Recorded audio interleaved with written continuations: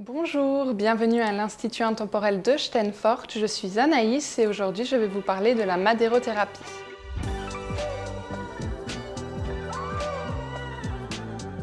Qu'est-ce que la madérothérapie? C'est un massage avec des ustensiles en bois de hêtre naturel qui s'adaptent parfaitement au corps.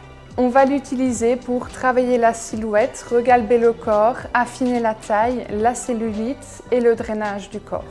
Au niveau du ressenti, c'est moins douloureux qu'un massage manuel classique et on obtient d'excellents résultats.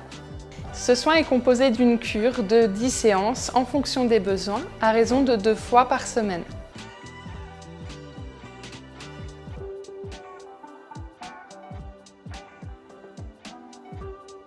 Il est nécessaire d'effectuer un rendez-vous de 30 minutes au préalable avant la séance afin de déterminer ensemble vos besoins pour le traitement, le temps de la séance ainsi que le dossier médical.